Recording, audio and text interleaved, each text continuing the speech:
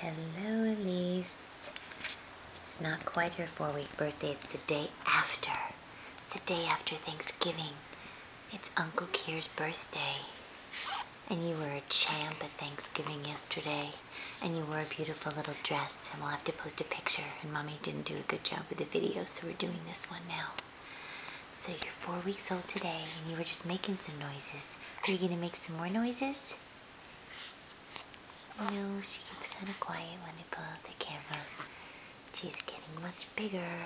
This is her little Moses basket that Grandma and Mommy made the cover to, the polka dots. So she's just hanging out. You just staring into space. Yep. So we'll see everybody next week for the next installment of Elise video. Bye, baby girl. There's a little double chin. See a double chin?